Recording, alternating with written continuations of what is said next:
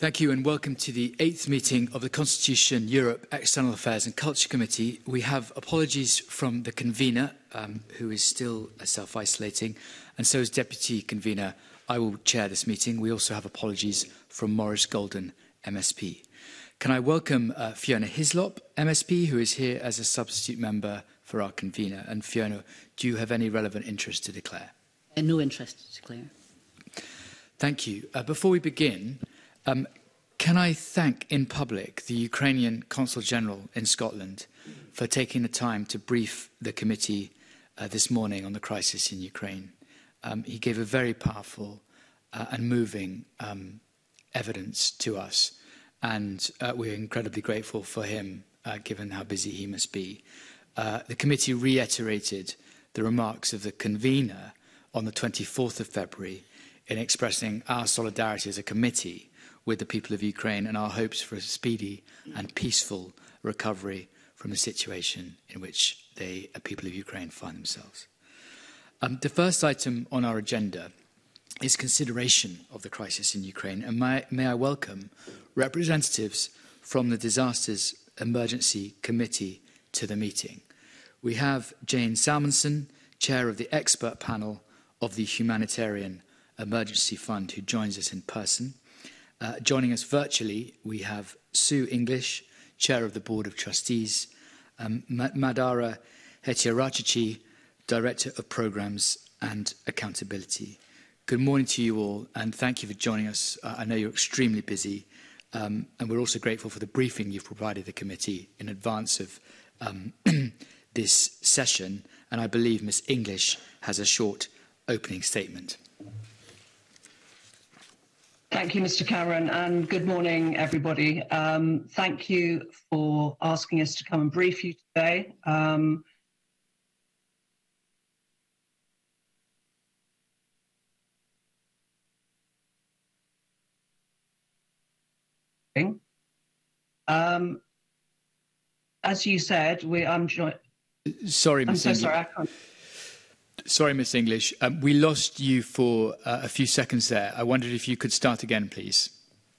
I'm so sorry. Yes, I will start again. I was saying thank you very much indeed for inviting us to come and brief the committee today on the work that we are doing as the Disasters Emergency uh, Committee uh, and our Ukraine humanitarian appeal. Um, just to give you some background, the DC uh, brings together 15 of the major uh, humanitarian aid charities, uh, including the Red Cross, the um, Save the Children, Oxfam, and the IRC. We come together for major disasters and emergencies only, and we mobilize our rapid response unit, which includes the major TV broadcasters and a number of other organizations in order to facilitate the um, ability of the public to donate to disasters uh, and emergencies. Uh, we have a very strong relationship with the major TV news broadcasters BBC, ITV, STV, Guy, Channel 4, Channel 5, and they allow us airtime for a two minute appeal fund in order to launch the appeal, um, uh, which we did uh, last Thursday. Uh, we also work closely with organisations like PayPal, NatWest, British Airways, Transport for London, all of whom give us their time and uh, energy in order to make it easy for the British public to show their generosity. And the response so far to our Ukraine humanitarian appeal has been absolutely overwhelming. Uh, as of yesterday, we were had raised over 120 million pounds, which is an extraordinary amount of money. Uh, it's probably the second largest appeal we've ever had. The largest appeal being the one for uh, the uh, victims of the tsunami uh, back in the early 2000s, which raised around 380 million pounds. But the scale of the need, as you will have seen from the distressing pictures uh, on our TV screens and newspapers, is massive. Um, we are estimating that this is going to be the fastest growing refugee crisis since the Second World War. Two, over 2 million refugees have already fled to neighbouring countries in the last uh, 13 days. UN estimates are around 7 million people could be internally displaced within Ukraine uh, and up to 18 million people affected in the country. Um, so far, as I say, the appeal has raised 120 million pounds, um, thanks to the extraordinary generosity of the British public.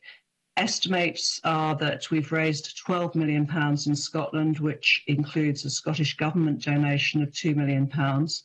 And we also have a UK government aid match of 25 million pounds, which is the biggest aid match we've had from the government um, the work that we're going to be doing on the ground and uh, the work that is already underway, um, Madara will be able to go into more details on.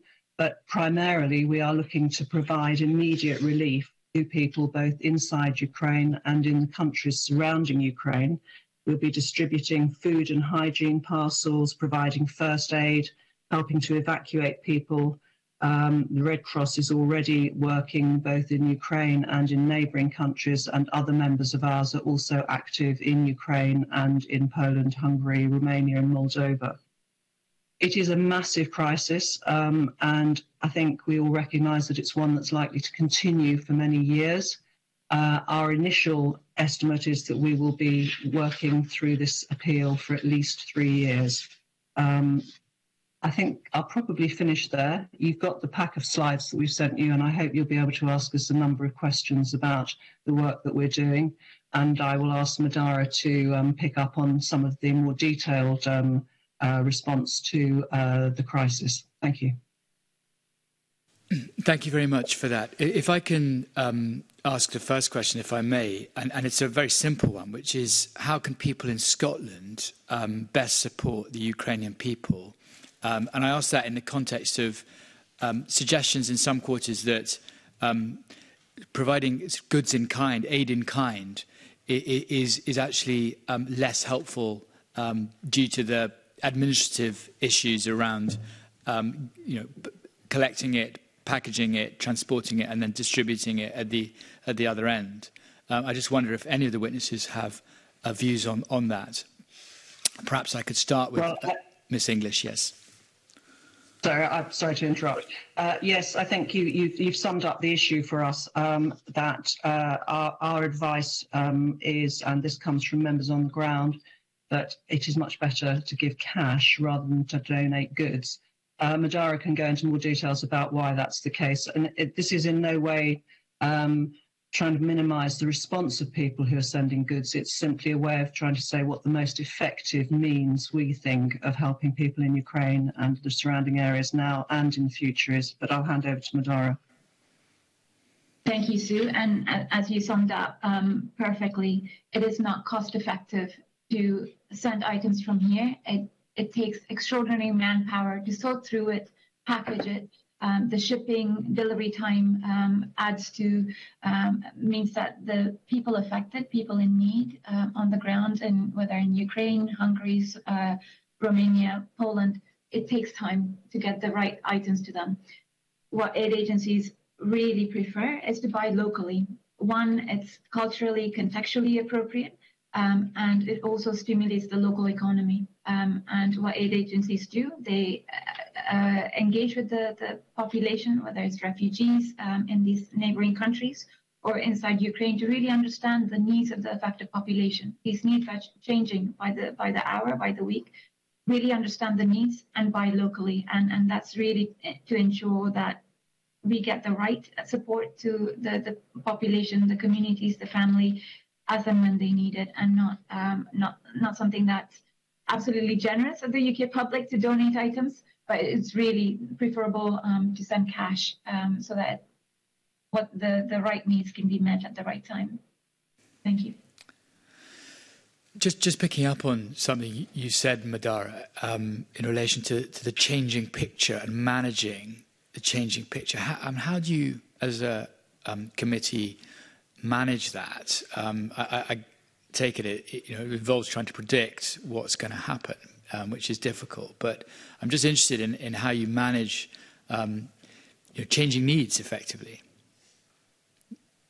When we went to appeal last week, um, it was over 150,000 people that had crossed the border. But we knew, based on um, decades of experience working in these types of environment, conflict-related environments, that people uh, what what what they um, what they need is safety and security. So we knew that the refugee population will be increasing. Um, we knew that the, there will be population inside of Ukraine um, displaced and others that people, um, the elderly, uh, infirm, people with disabilities who are unable to make that really difficult journey will be staying behind.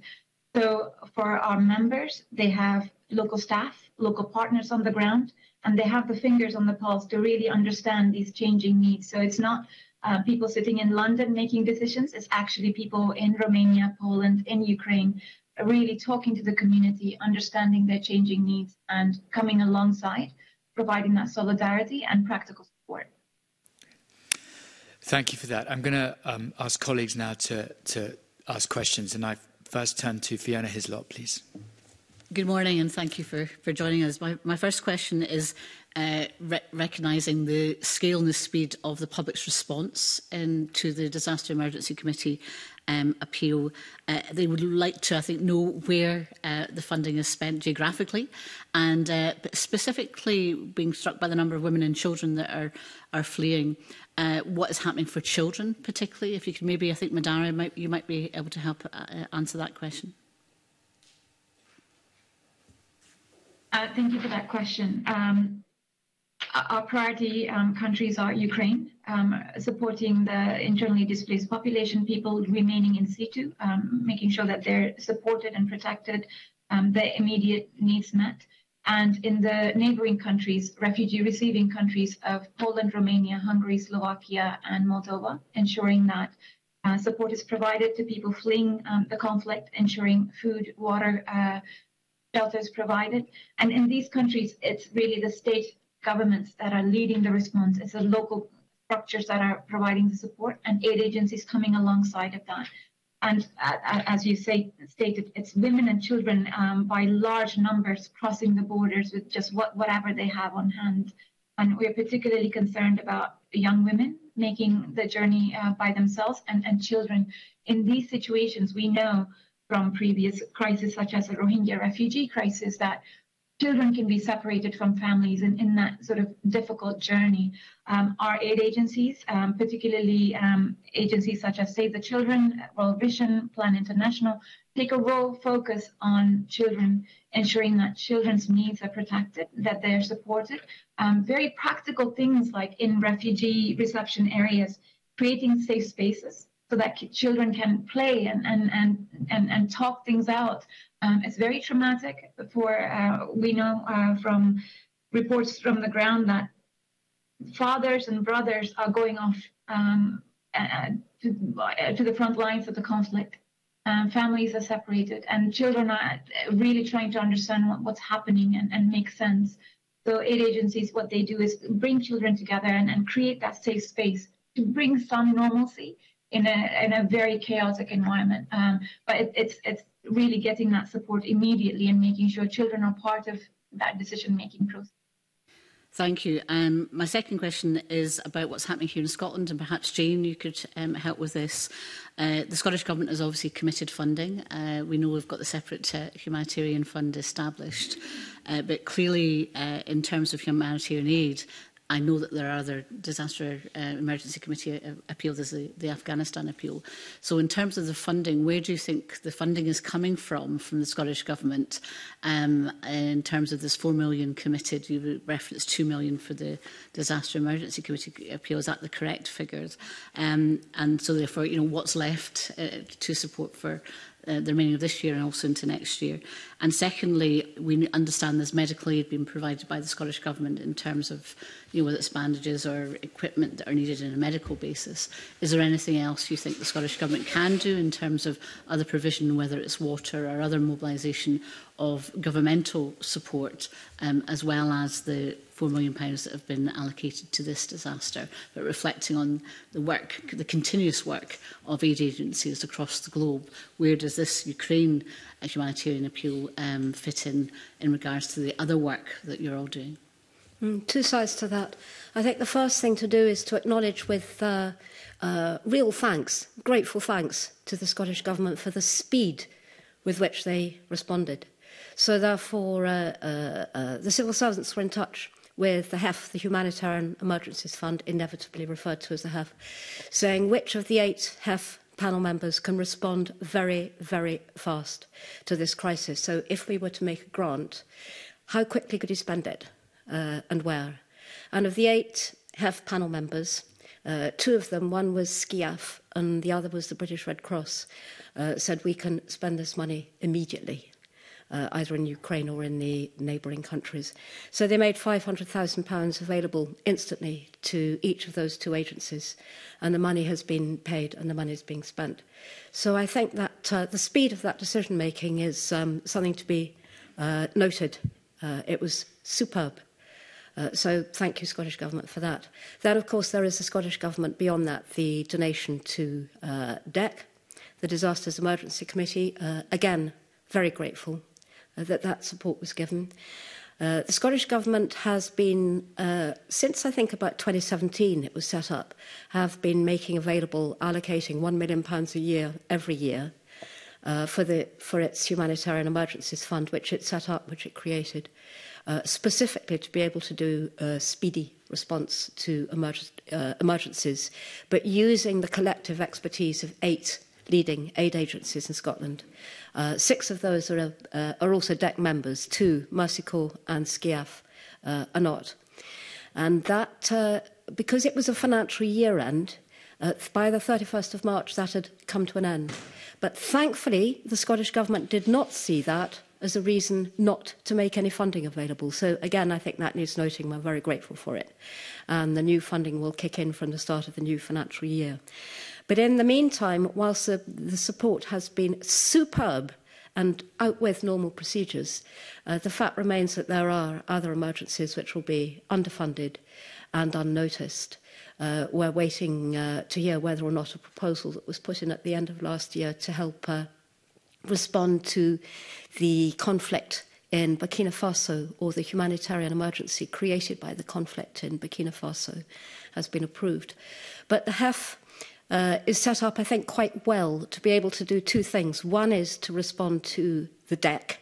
When there is a major emergency, uh, the Scottish Government can use it to support the deck in the deck's appeal. And the other half of the funding goes for uh, to respond to the emergencies which don't win media attention in the same way. So have funding has gone to help people in Tigray. Uh, we're waiting to hear we can get it to Burkina Faso uh, it's been for funding in the past to Mali. So that will continue, I hope, and uh, uh, I know that you will know I'm going to say this, but actually £1 million pounds a year, uh, the HEF was the only element of Scottish Government funding to support international aid and development last year, which uh, didn't get an increase in funding. And obviously, we would very much like to see an uplift in the future. Uh, and to be able to talk a bit more to this committee um, the convener about what the HEF does. We think we have um, uh, something which was created in Scotland, which is particularly valuable for public life and for the institutions in Scotland. Yes, well, as a former minister that helped to establish it, um, I, I recognise the both appeals. Um, and, on, and just finally, on the additional support, the medical aid, the actual kind of goods Um, obviously, we've heard the importance of having cash and the, you know, the funding and the money, but we have been able to mobilise in Scotland other resources, and it's just... Uh... It's I think, if it's in response to a direct uh, request for help. And mm. as I understand it, the yeah. Ukrainian consulate said, please, can you help us with these items? And I'm delighted to hear that they have now joined a flight, I think, which FCDO. Uh, there's also been a request from the Ukrainian uh, Community Foundations, I think, which went to Foundation Scotland uh, which was also for medical supplies. But uh, uh, conversely, I've also heard, I think, from Mercy Corps about um, stories coming back about piles of goods with high heel shoes sitting on top, of uh, goods donated by well meaning, kind, generous people, which end up at borders needing to be sifted and sorted and holding back a, uh, a mammoth volunteer effort. So I think uh, for the future it would be excellent to see what we can do uh, to encourage a response of in-kind donations where it specifically meets a specific request, but find better ways of channeling the goodwill which will always be there and public generosity uh, to prevent holding back uh, the provision of badly needed aid in a hurry by sifting and sorting private van loads of people driving private vans into dangerous areas. Thank you, Jane. Uh, Thank you, Fiona. Um, Alistair. Thank you very much, Convener. Another question um, for, for Jane. I, mean, I know that um, I think we've talked in the past uh, about the convening power that, that your fund and the Scottish Government have in bringing others to the table at times like this in Scotland. I wonder if you could say a bit more about whether you, you think there's scope in this uh, emergency for, for, more, for that to happen and, and to get the most out of the, the, the sums of money that, that you're distributing in terms of bringing in others to the conversation. There could well be Uh, trouble is, these things take focus, attention, time, money. But this could be a perfect opportunity to have a look at what's been uh, working so well in Scotland. Uh, and the wave of generosity is extraordinary, and what has been working less well. And see what we can do uh, both to uh, uh, channel the generosity more effectively and to create, if you like, a recognisable uh, body or consortium of bodies in Scotland, for Scotland, for the people of Scotland. So, yes, take the HEF, which is there, but the HEF has no budget. Uh, it's run on a shoestring. We have our part time uh, coordinator, who is superb, Mr. Hugh Owen, whose other part time job is to represent the DEC in Scotland. But that's its only resource. Otherwise, it's the eight panel members and a voluntary chair. So, yes, there's untapped potential there to raise more funds for another disaster and to manage the funds better. Thank you. Um, could I turn to Jenny Minto, please? Thank you, Convener, and thank you um, for coming to give evidence. Um, we've, we've heard a bit about how um, the coordination works within the within Scotland and the United Kingdom. I'm interested to hear how you coordinate with um, other uh, international uh, aid organisations, um, either in Ukraine or in the surrounding countries that you mentioned. I don't know, Madara, if you are appropriate to, to answer this. Thanks for that. Um, coordination is absolutely critical in such a humanitarian response. Large scale, fast moving, things are changing by the hour. Um, so what MIM, our DC member agencies will do, um, along with UN agencies and uh, local authorities, um, really come together and really look at thematic areas. So looking at shelter, non-food items, which are essential, and um, coordinate that. So that one family here is not getting blankets uh, while another family really needing blankets are, not, not getting it. Um, they'll coordinate um, in other responses, such as Afghanistan, where we also have an appeal um, cash. Um, cash is really valuable. Cash grants, cash assistance, really valuable to uh, communities um, suffering. Um, so really looking at how much cash um, so that there's there's not tension um, that's being created as a result of aid work, that there's not disharmony as a result of uh, aid work. So there's uh, these existing coordination mechanisms um, that the UN and INGOs um, call UN clusters, and thereby thematic areas, shelter, logistics, water, food, um, etc. And, and they they will be up and running um, in both Ukraine um, as well as other locations to really ensure that coordination happens that collaboration happens, um, and that people are uh, maximizing resources and not duplicating them. Um, so it's one of the things that we check as, as a funder uh, to, to these uh, implementing agencies to ensure that they're not just delivering aid very quickly, um, but that it's measured, it's considered, and grounded on needs assessments that I, as I talked about, but also coordinated and, and delivering complementary support, particularly in the neighboring locations where government of Romania is highly capable. Same with um, uh, Polish authorities. They've got state-run systems, for instance, um, cash uh, programs or social protection programs, which they will try and move to support the refugees. So it's it's the UN and INGOs to come alongside of that and, and support and, and not create um, parallel structure. Thank you. Um, Jane, do you have anything to add to that? That again is tried and tested over the years. uh, and those clusters, the cluster system uh, is the best way to do it.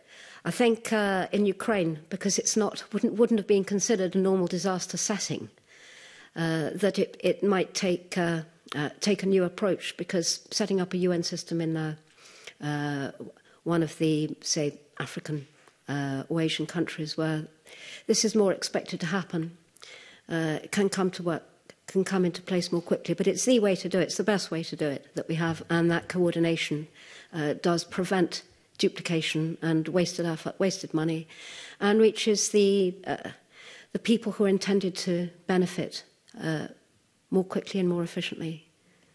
Yeah, it's. Um, I think it's it's struck all of us. Um, the well, certainly myself, the the shock of um, something like this happening in a a country that to all intents and purposes looks like looks like ours. Um, and I, just when I was driving into Parliament this morning, thinking about the there was reports talking about people having to melt snow for water, and so my I, it, it's when it when it becomes as stark as that, and then we heard and have, we've all seen the photographs of the maternity hospital being bombed.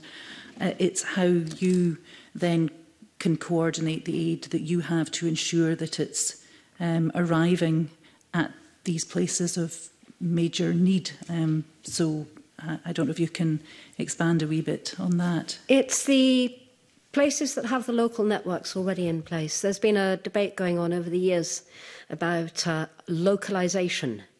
Uh, which essentially means the international NGOs working as closely as they can with local based partners uh, who understand their own context, their own neighbourhoods, uh, who are the ones who are much best placed to know where and how uh, aid can be most effectively distributed and to whom.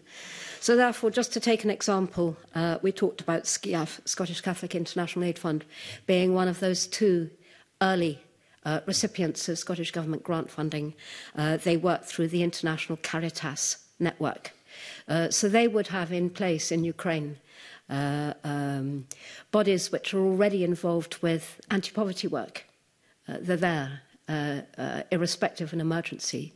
So, therefore, a body like SCIAF can work through that international uh, church led network uh, to meet need. It's just there. It hasn't been doing disaster response, but it's meeting local needs in local ways. So, uh, yes, wherever possible, I think all the major international NGOs will always try and work with local NGOs and particularly the ones with local networks which are close to the communities. It's the best way of doing it. Thank you. Uh, Madara, do you have anything to add? Uh, yes, um, um, members and, and their local partners are uh, sadly have that experience delivering in conflict zones, whether it's Syria, Yemen, um, Afghanistan, and they will really um, what we're hearing from Red Cross um, CAFOD and um, they have local partners that can respond, um, deliver a very quick response, assess safety and security of both the, the communities that they're trying to uh, support as well as their own staff, making sure everyone's safe, and, and, and deliver, contract. And, and so it, it's that kind of respond uh, when, when they find the space, deliver, and, and then go back. Um, so it, it's a in, in Ukraine, it, it is an active um, conflict zone. It is a live conflict. Um, things are changing very rapidly, but these aid agencies, they're in it for the long haul. They understand that from the communities, they understand the needs of the communities. So they will um, do their utmost to deliver aid safely without uh, putting anyone um, uh, lives in danger. Uh, but but they're there, and, and, and as Jane talked about, um, they're really relying on the ro- local networks. Um, and I, I in conflict zones and war zones, and it's the communities that keep us safe um, and, and they really support the aid workers and, and really make sure that aid workers are safe while they're also sort of trying to stay alive. Um, so there's real solidarity there and, and, really kind of ensuring that safety and security, well-being is, is, is assured while aid is, um, is uh, going to meet the affected, uh, affected population. Okay, thank you. Could I turn next to Mark Ruskell, please? Yeah, thanks. Thanks for joining us this morning. Um, I think in, in the discussion we had with the Consul General this morning, we got a, a sense of what the trauma of war um, is like and, and a sense of what that long-term impact will be on, on the victims. Um, so I wanted to ask you about the, the kind of psychological um, offers of support that aid agencies can bring and how that actually works on the ground, um, both in, in the countries where, where there is conflict, but also in the communities where people are, are fleeing to as well. Um, and, and the sense of you know, what is required in terms of funding and, and long-term support for that. Um, I don't know who would, who'd like to go first on that. Perhaps uh, turn to um, Jane, perhaps first, mm. and mm-hmm. then Madara, and then Sue. It's a, it's a question I welcome. Thank you. Uh, partly because in stage one of an appeal like this, uh, the humanitarian needs are paramount. Uh, people have no water. Uh, they haven't got enough to eat. Uh, stage two is can be the time when people have forgotten about it and moved away or thought, right, well, we've, we've done that one. And of course, we haven't done that one. The, the cameras, the film cameras might have moved away. But uh, work that can be done on things like um, uh, uh, traumatic counselling uh, to help children uh, and adults cope with the, uh, uh the trauma of war.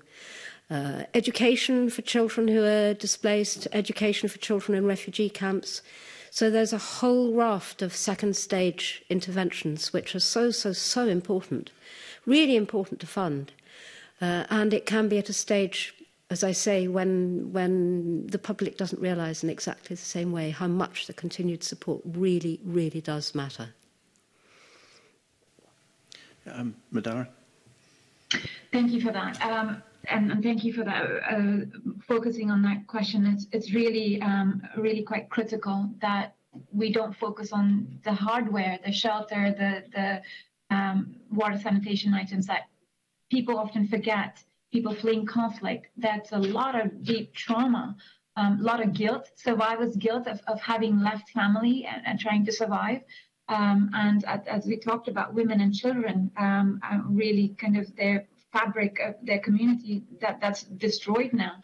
Um, so it, our members are, while they're delivering the, the much needed food and water, shelter, they'll also be thinking about trauma care and counseling. And how that's worked in other responses is, for instance, in Bangladesh, uh, in the Rohingya camps, members uh, established women and, and child friendly spaces.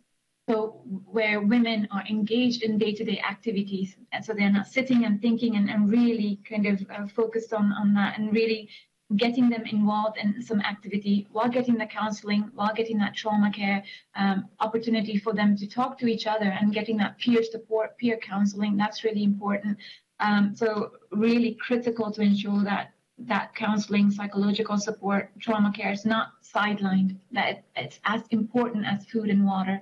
Um, and, and it's not just the talking about it, but it's really ensuring that the, the pregnant women, the breastfeeding women, um, young women are engaged in day-to-day activities. So they're not, they're agents of their own recovery, and they're not sitting on the sidelines while aid agencies are delivering. So uh, many of our agencies, where possible, um, will include um, uh, uh, people, uh, refugees, in as part of their sort of aid delivery efforts, um, and and that decades of experience um, delivering aid in places like Yemen, Syria, um, has, has really shown that to be a, a value add.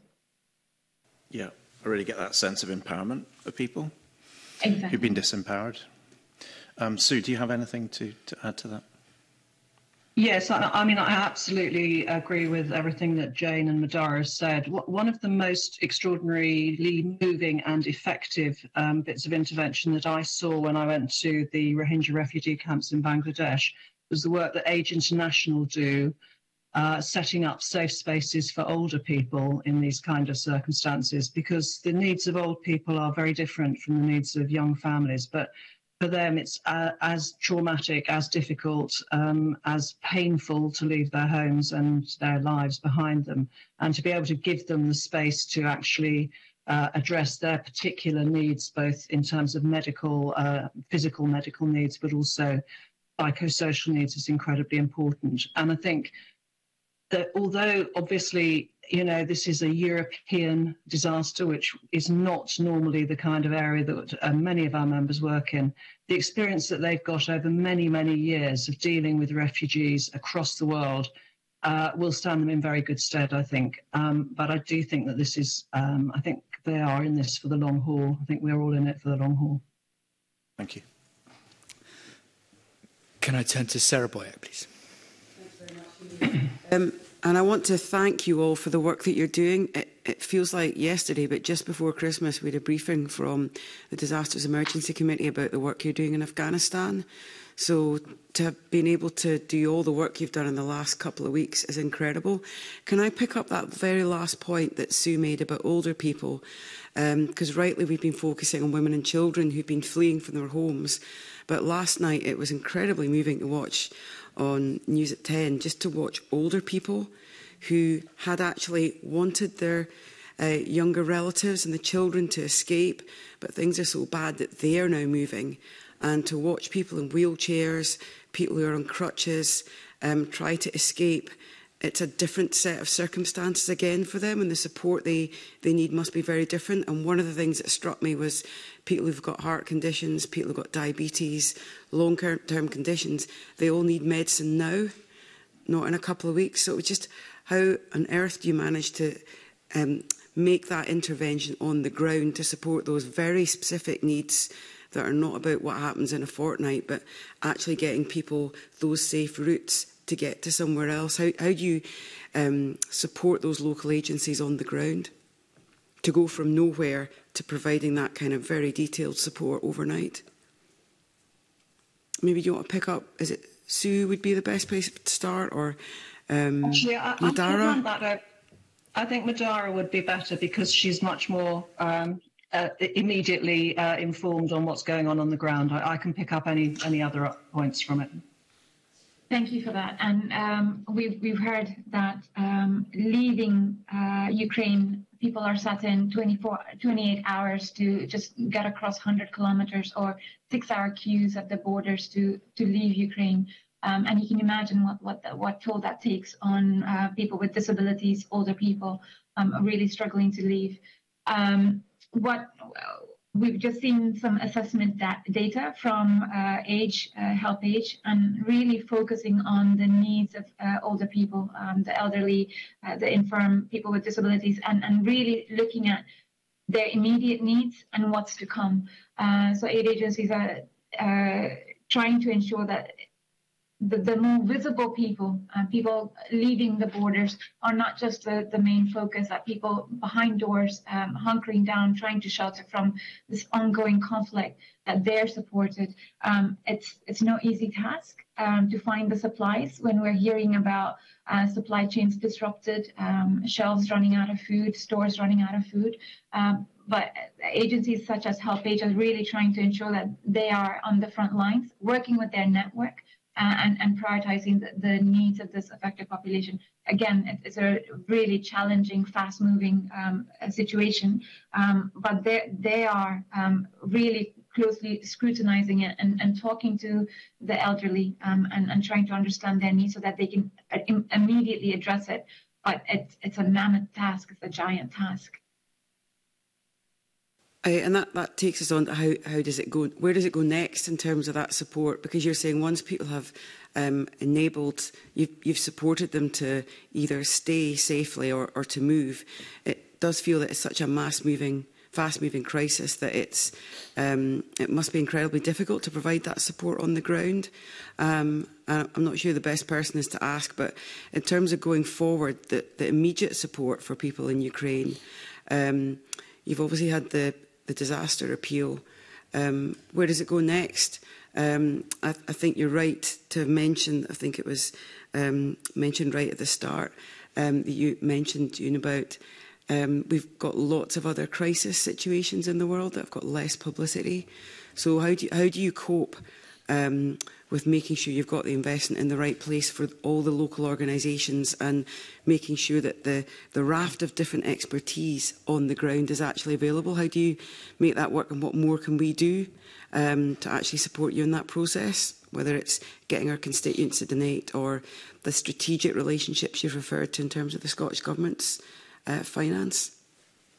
Shall I pick up on the uh, uh, on the sort of DC response uh, to, to, that? Um, I mean, I think you're absolutely right to point out that there is a real concern about the needs of other parts of the world where people are facing very difficult situations. Our Afghanistan appeal, which we launched in December, um, has raised over 30 million pounds, and uh, it is being spent on the ground very effectively now. But that is going to be uh, again an area which uh, is going to need support uh, for for the foreseeable future. Uh, the other thing that I think our members are becoming increasingly concerned about is that, as you probably know, the Ukraine and Russia provide huge amounts of the world's grain supplies. And we're already looking in, certainly in parts of Africa, at really serious hunger problems if the price of grain continues to grow up, go uh, up at the rate that it is, and supplies are short, then that is going to become even more of a problem going forward. So I think you know it is really important to remember that um, although what is happening in Europe is immediate, and we have raised a lot of money which will be spent there as effectively and as quickly as we possibly can, that there are other parts of the world as well which are still going to require help uh, and that's a, a long-term commitment uh, that we're going to need funding for. I'll hand over to Manara. Just in terms of the protracted nature of, of the crises, and, and it's a great question, Sarah, that it's it's not just a meeting basic, immediate, urgent needs of the affected population, but DC funding is, is available for the next three years, really ensuring that um, members, uh, their local partners, their affiliates are there for the long journey. And, and, and as Jane talked about, long after the cameras have moved on, our members are there, their local staff partners are there to the rebuilding of this the, for either the refugee response or um, internally displaced population inside of Ukraine. That that is years, much longer than three, five, seven years. lives have completely been uprooted. Um, so aid agencies will will really um, uh, work alongside of this affected population inside of Ukraine, um, outside, to ensure that that um, support is given. And as we talked about earlier, that changing needs. Um, what families need today is completely different from eight, nine months. Um, and aid agencies, because they've got their finger on the pulse, will be able to work, uh, support families with that, with those changing needs.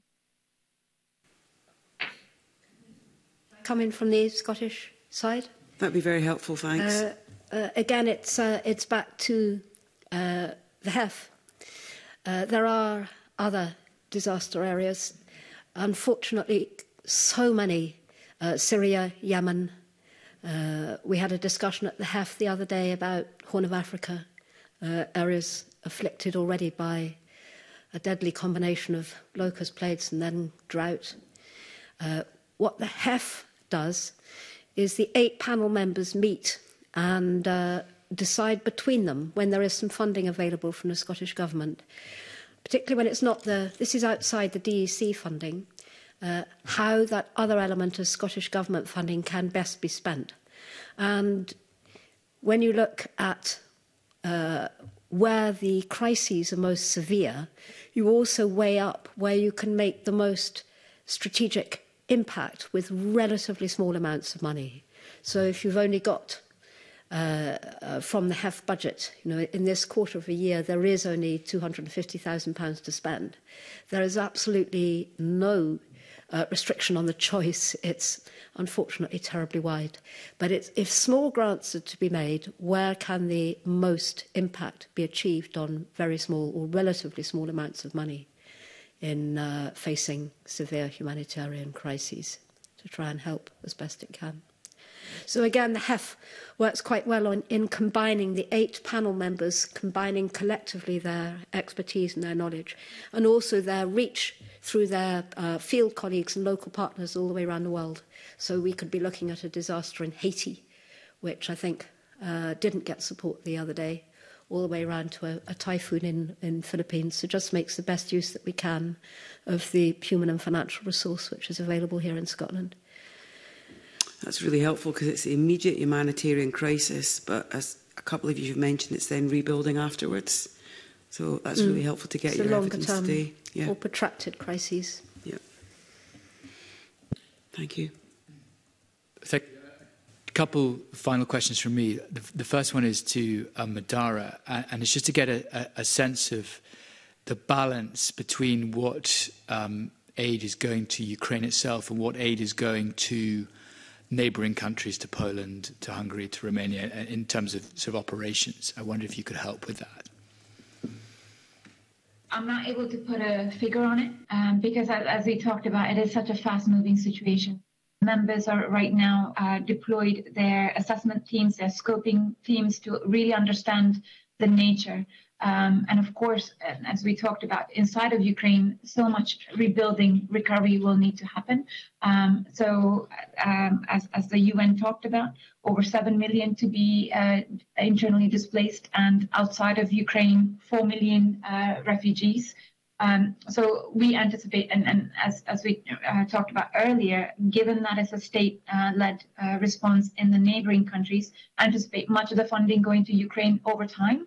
Um, but in the immediate, given the that responding, contracting, responding, contracting nature, in the immediate, it's possible that funding will be largely for refugees. But over time, it, it, as access um, eases inside and security um, permitting, um, we would hope uh, the, the response inside Ukraine will be much larger. Thank you for that. Uh, my, my final question is um, around sort of the administrative burdens and costs that a big appeal like this places uh, on the on DEC, uh, complicated by the fact that this is happening at scale and also that you have you know, 14 member charities. I just wonder if Any of you could give some sense of, of the sort of bureaucracy, etc., that you're trying to uh, wade through. Perhaps I start with you, Sue.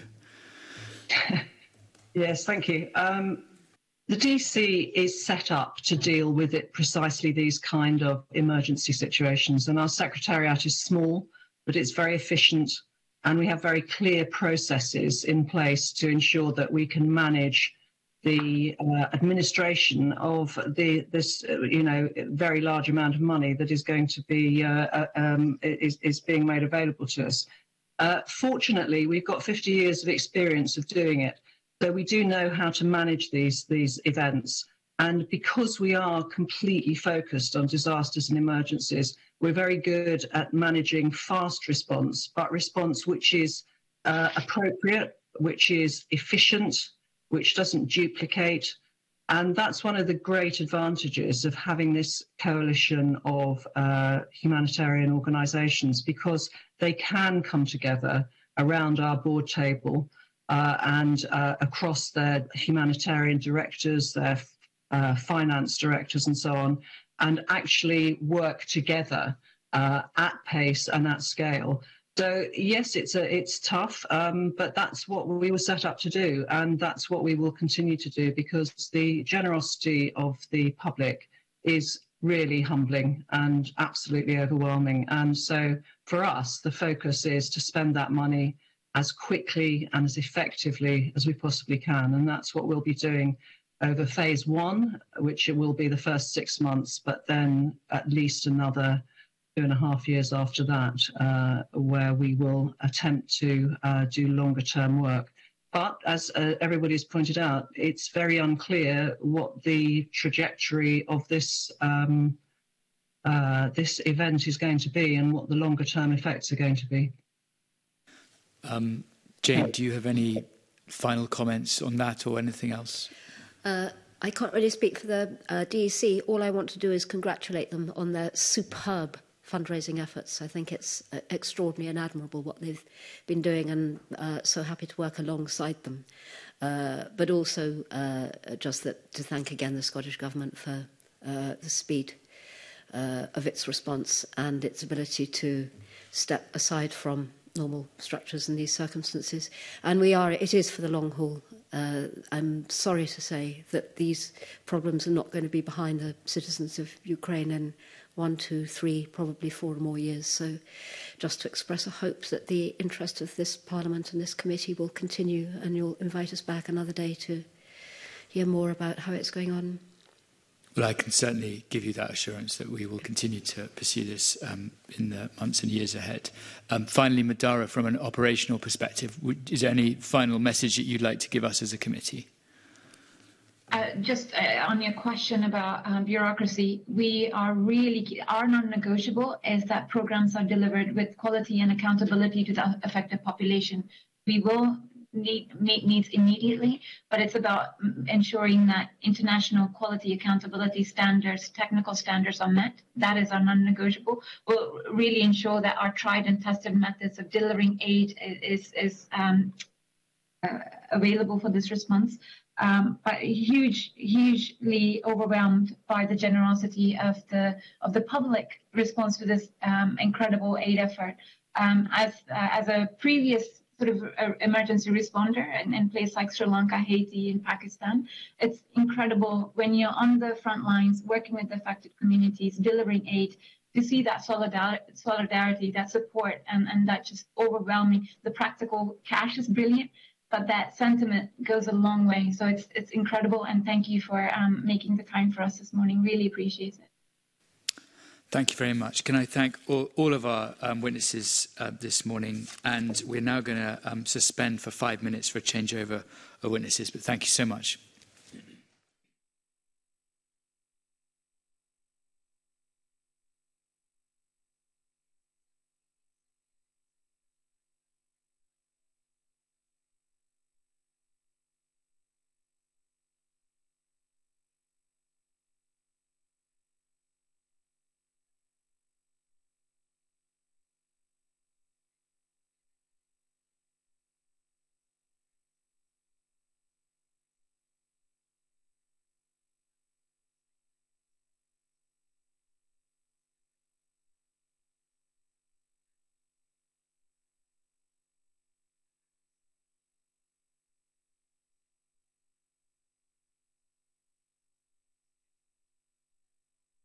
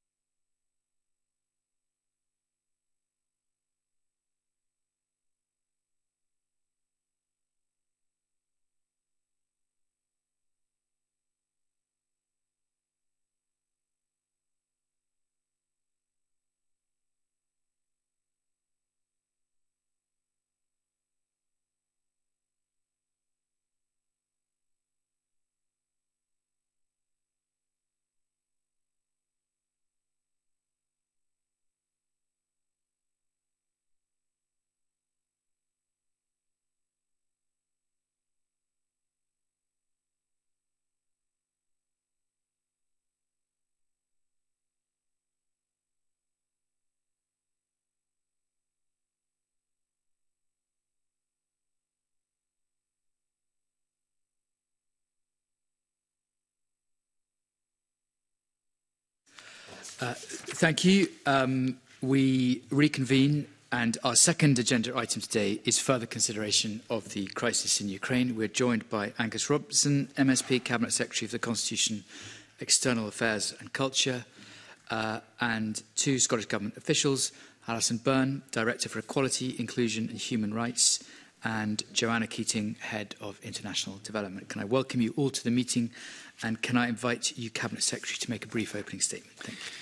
Uh, thank you very much, uh, Convener. I'm, I'm, I'm go going to read the first half of my statement and then because a very fast-changing um, situation that no doubt uh, members will wish to ask me about. Um, I'll be updating the committee on my understanding of a very significant uh, change in UK government policy towards Ukrainian refugees.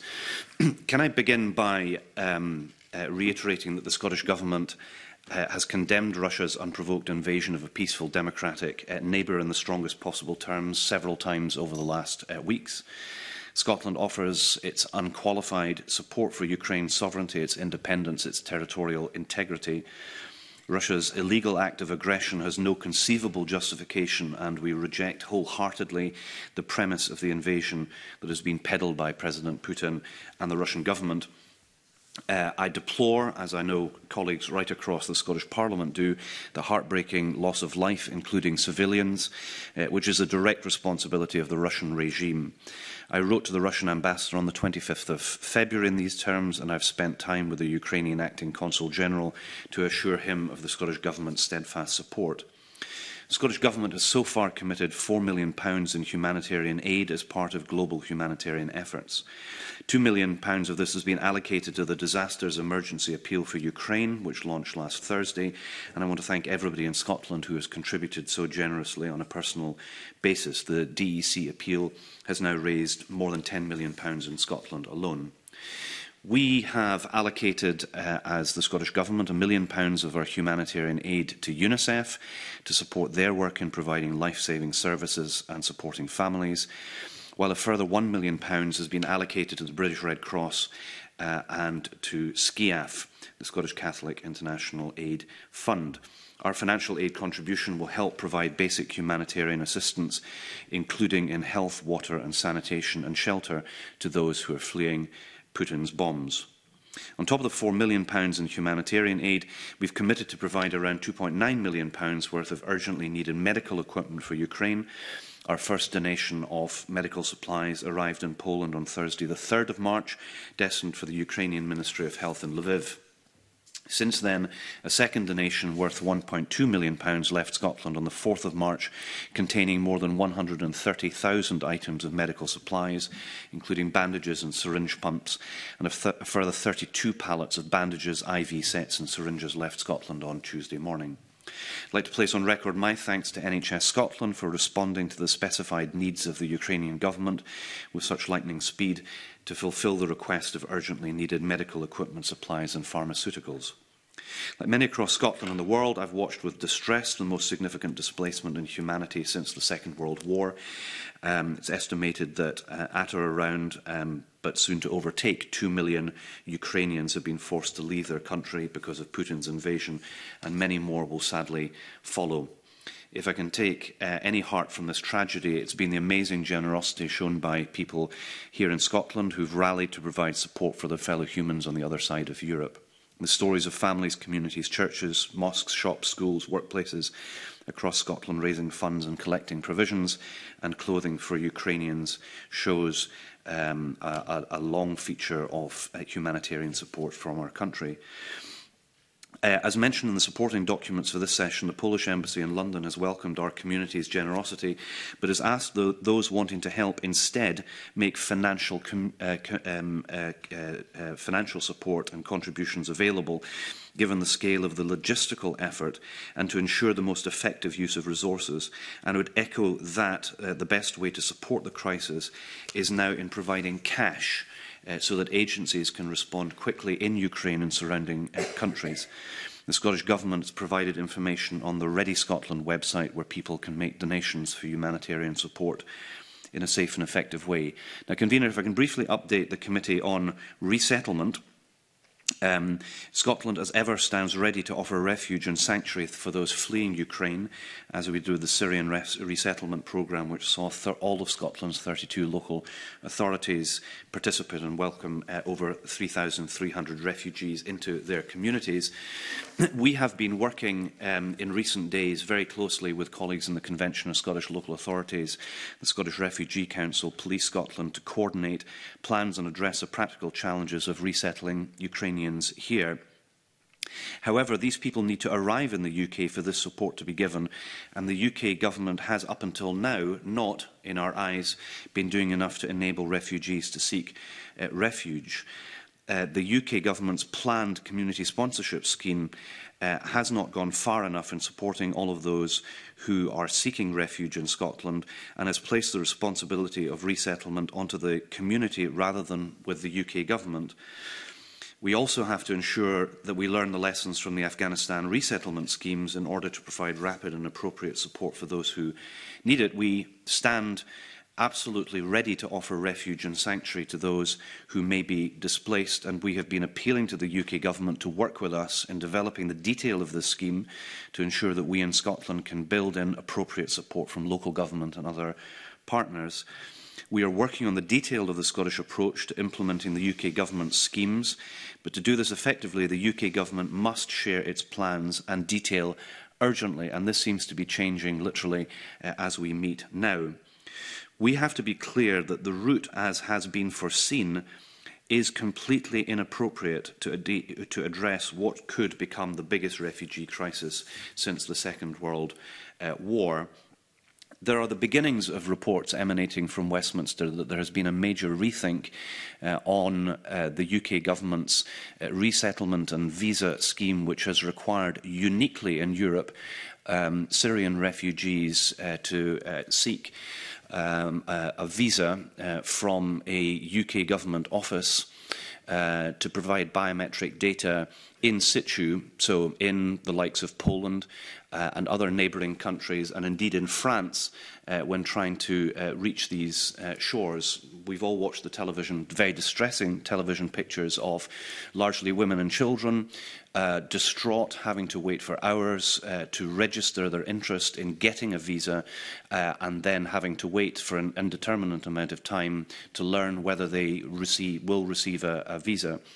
Um, it has been widely reported that the UK government uh, is in the process of deciding and announcing a major policy, policy shift on this uh, front. I do not have the confirmed final details of that announcement. There, are, there will be colleagues who, while I've been speaking, have been able to follow updates probably on the social media and may know more than me um, because we have not been formally informed yet what the position is. My understanding is that the uh, visa application process um, is set to change uh, that it, it it's supposed to be speeded up dramatically, that people will not have to automatically present to offices.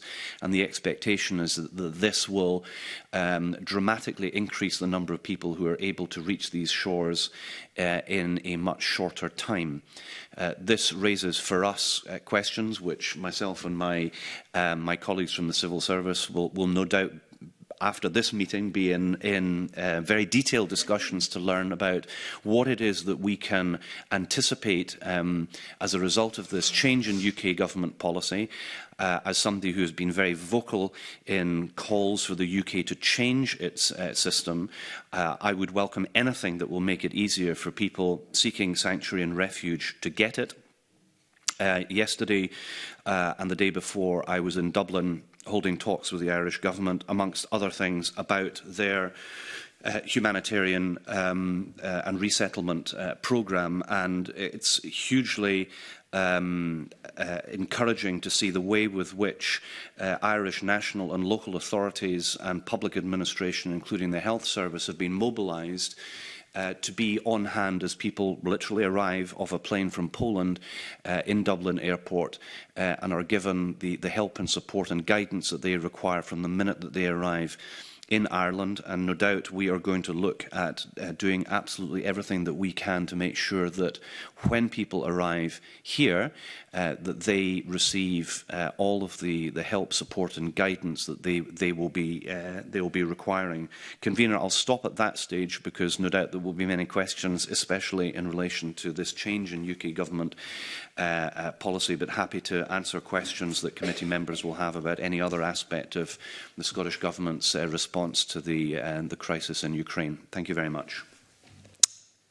Thank you, Cabinet Secretary.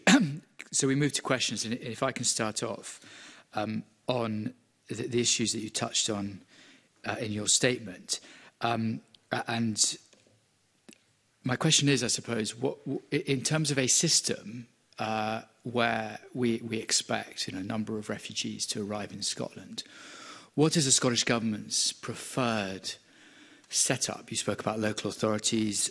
Some of them have al already schemes in place uh, in, over the previous years of, in terms of dealing with um, other countries uh, from whom refugees have arrived.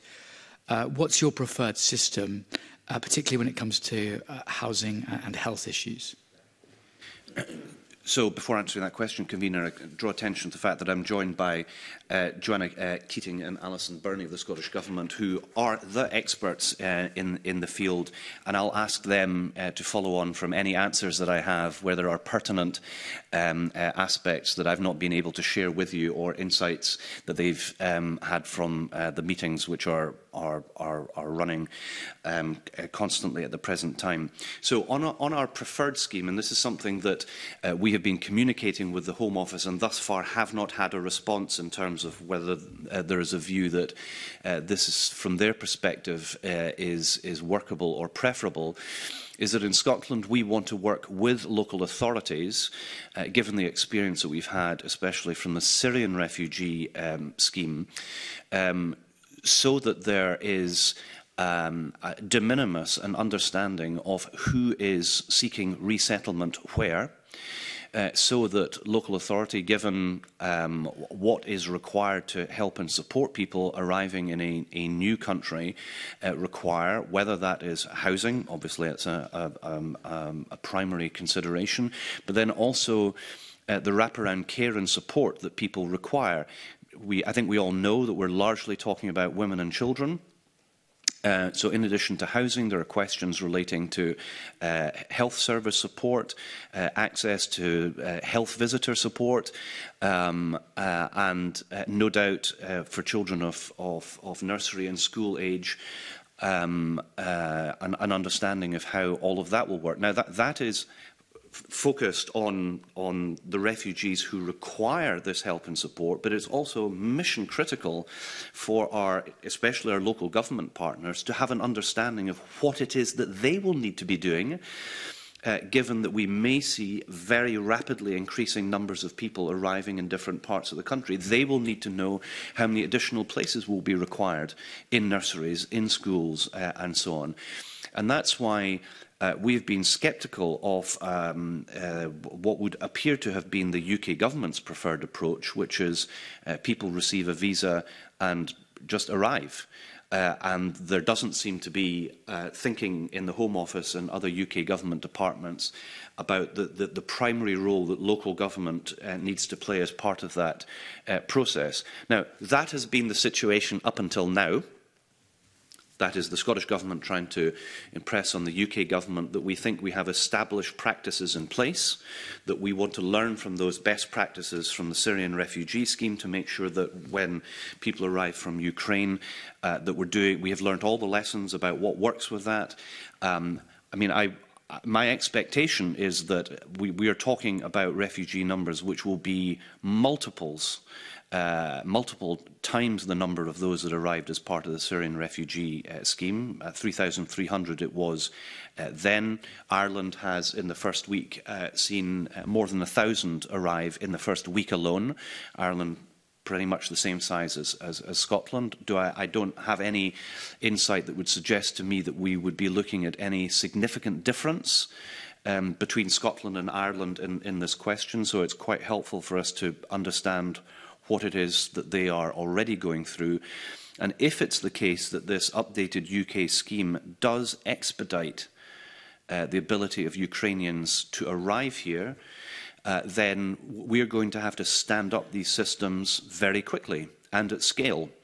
And you, you'll appreciate this is something that, you know, uh, when, when we end this evidence uh, session, uh, myself and uh, my Cabinet Secretary colleague Shona Robeson, who has the primary responsibility in the, the, the domestic uh, side of um, uh, uh, this uh, challenge um, will, will no, no doubt be um, very actively in meetings understanding how things are likely to work and what impact that will, uh, that will have. Thank you for that. Um, I'm sure other colleagues would like to return to that subject, but we have also heard this morning evidence on humanitarian aid, and we've had a very um, useful session with the Disasters Emergency Committee and then a private session before that with the Ukrainian Consul General.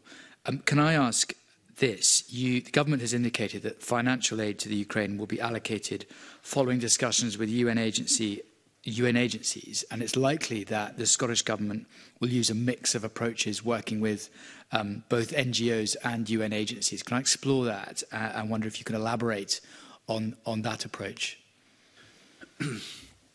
so, as we all are aware, different ch charitable organisations have a, a different focus and locus of their work. They have uh, different um, logistical abilities of delivering uh, in uh, in different places.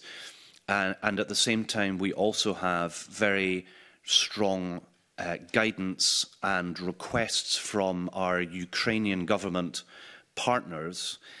Uh, and so there, there is a mixing uh, and matching process that needs to take place between our ambition to want to help as well as we can uh, and uh, the delivery mechanisms that are uh, offered by the, uh, the different charities. So it is the way things usually work when emergencies ha uh, happen. You have the likes of UN agencies, those that are focused perhaps on children, UNICEF, but other uh, parts of the UN family um, that are, are dispatched uh, to be able to uh, react to situations. And then you have uh, the likes of the, uh, the Red Cross uh, network, and important to understand, as I know the committee will do, we're, we're dealing with a situation both of assisting the neighbouring countries that have taken in the largest number of, of people, and that is in an arc uh, uh, north to, to east from, from Poland uh, to Slovakia to Hungary to Romania to Moldova, and all of these countries have seen very significant numbers of, of people. It's a very large numeric number for Poland, but I think I'm right in saying the largest per head uptake of refugees is Moldova, which I think I'm right in saying is still the poorest country in Europe. So we're having to make sure that we are being as helpful and supportive to Ukrainians in country, those have already left, and in the different geographic uh, uh, areas where uh, people have fled to. And it is by working with the UN and working with, in particular, partners within the Disasters Emergency Committee uh, sphere, but beyond that as well. So both the Mercy Corps and SCIAF are two examples of, of aid organisations who are not, not currently within the, uh, the, uh, the, the DEC consortium, but we are also working with them because of their capability and because of the, uh, their reach in, in Scotland as well. So it's again a very fast-moving uh, process, and you know it's an iterative process because once one has dispatched certain types of uh, aid, that, that that then changes And so one of the things, and this may be a follow-up question for consideration, which is we know that people have been enormously generous here, as they have been right across Europe, in providing what they think will make the biggest difference to people. So baby food, uh, nappies, uh, clothing, uh, toys um, are, are literally um, uh, being piled up in uh, in warehouses right across Europe. Uh, and there's the question of how can one uh, either get that to um, people in, in uh, Ukraine and neighbouring countries, or now when you're seeing so many people arrive, it might be best suited to use that charitable giving to people who arrive as sort of welcome packs or support packs for people who are here, whilst at the same time recognising that what the aid community is saying and what the countries are saying, both Ukraine and the neighbouring countries, it's financial aid that is the top priority for them now. And so for, for people who are wanting to help and support Ukrainians in need, the best way to do that now uh, is, is financial support through the charities who are delivering in the area and th those are primarily the I think it's 12 or 13 um, uh, charities that form the consortium in the disasters emergency committee appeal. Thank you. And that's a very clear message that's emerged in the, in the evidence this morning as well. Um, I'd like to move to questions, and can I take the first questions from Mark Ruskell, please? Thanks. Um, it's obviously a, a rapidly developing situation. We've all got one eye on Twitter to find out if there will be a genuine route to safety uh, to the UK for, for Ukrainians. Um, we, we, we spoke in, in private with the Consul General um, for Ukraine this morning and we, we discussed the, the Ukrainian population that is, that is here, that is, that is part of our communities already, and um, that is part of us. And we understand that there are around 7,000 uh, Ukrainian nationals that are in Scotland. Uh, the majority of those are, are seasonal workers. Uh, the majority of those people are, are clustered on the east coast of Scotland, working in North East Fife, in Dundee, in Falkirk and in Edinburgh. So I, I'm interested uh, to know how can we support these people, obviously they will be incredibly anxious. They'll be wanting to bring their family, in, in many cases, their loved ones, um, over to Scotland as quickly as possible. But there are challenges in terms of language, in terms of having enough um, qualified immigration advice um, to support them. So on, on that particular aspect, uh, immigration advice, um, what thinking has the Scottish Government given to how we can deliver that advice where people are, um, which is primarily within those communities in, in the East Coast where they're, they're currently employed as, as seasonal workers. Very much. There's a lot in that question. So I too have been discussing this with the Acting Consul General, and there are two specific aspects to the Ukrainian community in Scotland. First, there, there is a, um, a long-settled and long-established Ukrainian community in, in Scotland that largely goes back to the, the 1870s and post-Second World War. And one is already, in, in that case, talking about the second generation, third generation of um, Ukraine, Ukrainian uh, Scots uh, who are here. And, and they live right across Scotland. There is no geographical concentration um, uh, um, beyond the normal sort of urban-rural um, uh, contribution um, uh, uh, conurbations that we're aware of. So, for example, there is a Ukrainian community um, a facility in Edinburgh, similarly in, in Glasgow, but there are established um, Ukrainian Scots right across uh, Scotland. And the estimates of how many those are, the Consul General told me he thought that that, that was probably up to 5,000. And on the seasonal side of things, at a maximum, you could add another 5,000 on. So the figure that, that Mr Ruskell's uh, given of at the present time, there may be 7,000 speaks to that. So um, 5,000 plus 2,000 uh, seasonal workers. And yes, there will be concentrations of uh, those people in certain parts of the uh, country, and that's something that uh, one has to uh, be thinking about. W one of the things that was quite interesting from my conversations with uh, Ireland's Foreign Minister, Simon Coveney, Coveney yesterday was that the overwhelming majority of people arriving in Dublin are arriving with an address that they are heading towards. That is from a family member or a friend or somebody that one knows. Uh, and so again, given the point I was making in an earlier answer, unless somebody can tell me that there's going to be a profound difference between people arriving in, in, Ireland and arriving in Scotland, my suspicion is that the first wave of people arriving will arrive um, knowing where people are. And that may well be people who uh, are, are working in the seasonal uh, industry, but it, it is probably also the connection which we've had both with the, uh, the Scottish Ukrainian community, but also those people who have been working here for a number of years, who also form part of that community, i.e. they're not people who have traditionally moved back and forward every, every year. So we need to be aware of that as a phenomenon. And this th throws up um, the reason why the Scottish Government has been particularly keen to work on the resettlement scheme which has emerged from the Syrian uh, scheme that we have experience in, and very good experience in at local government level, to make sure that we're able to match uh, public service support for people who are arriving in situ in localities uh, with the levels of demand. You may well be right that one might see a, a significant um, number of refugees heading to certain parts of the country because of the nature of work that people do. we don't know that yet, uh, and that's why uh, we would be very keen and would still be very keen uh, to make sure that uh, we are working hand in hand with our our colleagues in the Convention of Scottish Local Authorities who have been doing a great job in making sure there's coordination right across the 32 local authorities so we can be aware of what may be coming.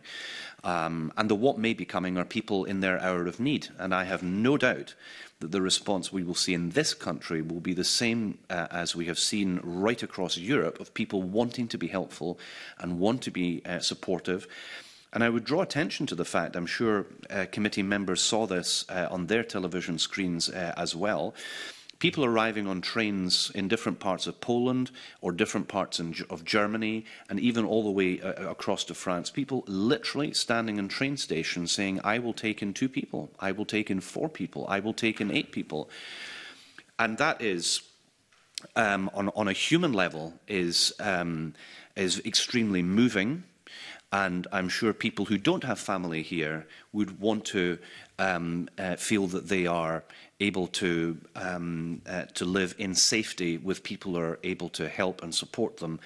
Having said that, though, we have to make sure that safeguarding issues um, are, are being considered, um, that there is an awareness of who is arriving and where are they going, um, primarily for the reasons of uh, matching social support um, social service support that we would want to uh, uh, we would want to do. So that all underlines the reason why we we want to um, uh, have a resettlement scheme that is um, ha has our local government and the provision of local services at its heart. And you know, we are ready to do that. Our colleagues in local government are ready to do that. And we're just trying to impress on the UK government that regardless of the route that they are going to open up and the preference that they may have for wanting that to operate in other parts of the United Kingdom, we're very clear that we have good experience. We want to apply that good practice to do the best that we can do. Is there anything that colleagues want to to, to add to that. Um, I mean, I think in a nutshell, that's our approach thus far. I know it's very fast moving, but I think that's still where our preference lies. Mm. Um, uh, just to add to what the, the, Cabinet Secretary has said there, over the course of the week, while we have been engaging with the UK Government to try and understand um, plans for their humanitarian sponsor scheme, ship scheme and how that might work in Scotland, we've of course been talking to COSLA, Scottish Refugee Council and other key partners around how we can mobilise and organise in Scotland and what our preferred approach would be. And as the Cabinet Secretary has said, um, there's long-standing experience of local government and partners doing this well in collaboration and partnership across Scotland, and that's certainly approach that partners want to take. So, um, as Mr Robertson has said, very similar to the Syrian resettlement scheme where we saw over 3,000 Syrian refugees successfully resettled in Scotland would be very much the space I think that our partners want, want to get to in this space. So hopefully we'll get more clarity from the UK Government over the course of the day around the role they see local government playing and indeed the funding package that might come alongside that to enable and facilitate offers of accommodation and support forgive me to answer the point of the, the question from Mr. Ruskell, which I didn't get to, forgive me, was the question about language skills uh, and making sure that one uh, can uh, assist people who perhaps don't have English um, as, a, as a second language. So the Scottish Government has been identifying uh, quite a number uh, of, of colleagues who are um, uh, both or either Ukrainian and or Russian speakers. That's from a Scottish Government side of things. And the, the Ukrainian community in Scotland is, as you might imagine, um, seized of doing absolutely everything and anything that it can do to help people who are arriving, which is why we're working so closely with them to mobilise as many resources uh, as we possibly can. Now, I should perhaps clarify uh, to the committee that you know what, what we are learning uh, about this significant change in UK uh, government approach is that it is not moving from a position of um, waiving visa requirements into the UK to the same position as the European Union countries are doing. The system they are changing to is making it possible for people to apply online and to receive a reply to that request online. What we don't yet know is how long might it take for any application to take place. Uh, and so you know, we're still at the very early stages of understanding how things might work. Um, but I imagine it would probably be easier administratively to deal with any application um, given human resource uh, constraints compared to a smaller number of outlying visa offices where there are now long queues. So you would have to hope, I mean, our preference would be that the UK would emulate the approach of Ireland and other EU um, uh, member states to waive visa requirements entirely. That isn't apparently what it is that they are planning to do. But what they are doing is changing the system. Uh, it, it, it is explained uh, in a way that should make application and the processing of such applications a lot speedier with the anticipation that that would allow a lot more refugees to arrive here much more quickly than would otherwise have, uh, have taken place that, leads me actually to, a, to another question, which is about the nature of the, the visas that are issued um, as short-term visas, um, visas for seasonal workers as well, um, and some of the conditions that are applied to that, particularly the, the condition of no, um, no, uh, no reference to um, public uh, funds and sorry, no, no requirement for public funds, and and uh, whether the Scottish Government has a, an assessment of how many people may be potentially captured by that. I mean, obviously, if, if people's visas are being extended to the end of this year, to December, um, and there's some security that they may be in, in employment during that period, then, um, then, then good. But of course, if people are then out of employment during that period and they're then un unable to access benefit, uh, they have no recourse to public funds, then, then that's a very serious problem and that could lead to homelessness and a, and a range of other problems. So is that, is that something that you, you, you predict may be an issue and how would you, how would you tackle that? Yeah. So, um, so, so on, on the way here, I, I heard in the news headlines that it was expected that the Home Secretary was to make an announcement that would see a change to um, uh, the status of Ukrainians who were in the UK without leave to remain that their situation could be regularised because, of course, they wouldn't be able to return to Ukraine. So that was at nine o'clock this morning. We're now in a situation where it's being signalled that there might be significant changes on a number of fronts. And forgive me, I'm, I'm not, I've not been cited to, to what those Uh, uh, might be, and obviously it would be it would be it would be a good thing uh, for the Scottish government to be told by the UK government what it was intending to do about something that is going to be having such a big impact on uh, on things here. But I, I, am I've still not been informed what those actually are. In relation to no recourse to public funds, well, that's just totally unsustainable. Um, we have to make sure that people who are here, who have lost everything and have nothing, um, do not find themselves in a position when they, where they may be homeless or in penury. Um, so I will be looking closely at what the UK government is now proposing. I'm, I, I haven't seen it, uh, and I would hope that uh, common sense has prevailed so that those who are here already are able to remain and do not need to go back. Uh, that we um, take, uh, get, uh, make sure that all of those who wish uh, to seek support um, and sanctuary here are able to do so, and that they do have recourse to, to public funds and apart from anything else, also have the ability to earn their keep if they want to work.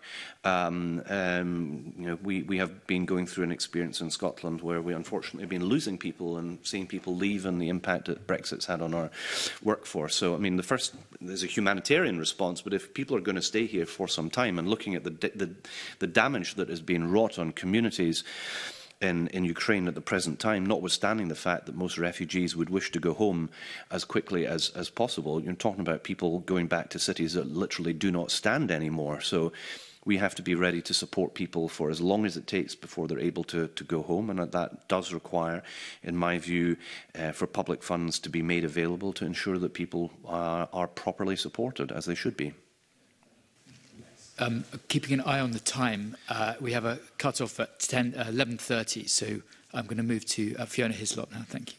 Just very briefly as a, a follow-up, uh, if reports are accurate from the BBC, this looks like a process change for online processing of a remaining restricted uh, rule base in terms of who can come here. If Scotland has a specific, as we have, a specific interest in seasonal workers, uh, the rules that currently are applying by the UK government, unless they change them today, would mean that family of seasonal workers couldn't come here, even on their very, very narrow um, uh, limits in terms of their current provision saying immediate family can come, but not if you're a seasonal worker. So uh, in your discussions with the Home Office, which I expect should be today, I expect the, the, the Home Office to give respect to the Scottish Government and uh, you'll speak to you today, uh, could you specifically raise the issue of how do we get, and we had an example of children not being able to come to meet their parents who are seasonal workers here in Scotland, that that's a specific thing that we press on to get that change. Yes. Um, and uh, this relates in part to the uh, community scheme that the UK government has uh, talked about, where individuals, organisations, or companies might be able to sponsor uh, applicants uh, so that they might secure a visa.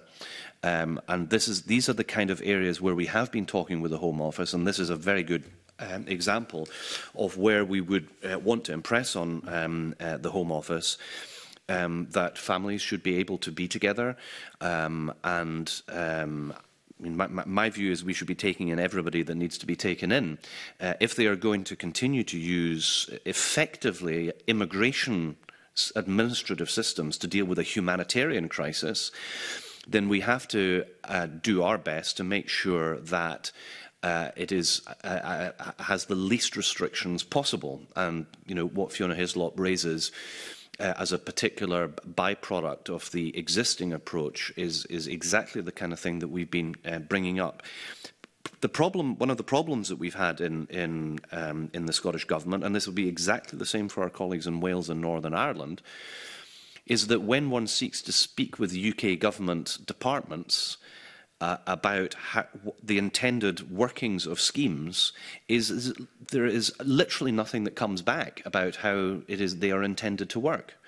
And so we, we have made major suggestions about what it is that, that we would prefer and I described that to uh, to committee, the committee earlier um, in terms of our approach involving local government at its uh, heart.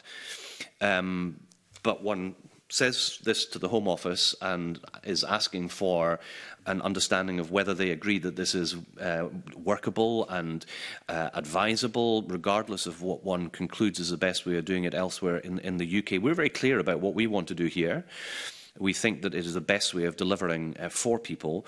Um, but in addition to that, the specific um, ad administrative restrictions that it would appear may still apply with this update to um, uh, visa applications that the UK government is in the process of deciding and announcing, um, we, we, we may still be having to press um, to make sure that there aren't the, the uh, circumstances which uh, Ms Hislop has, uh, has raised. And, and if I could move on, and I'm conscious other colleagues might want to come in. Uh, you've just returned from Dublin. Um, um, could you, and it will have to be brief, but uh, maybe uh, share with us uh, the Irish government's view. Obviously, they're part of the EU political response to Ukraine, and also any of the practical uh, lessons that we can learn from them. You've already uh, indicated there are some.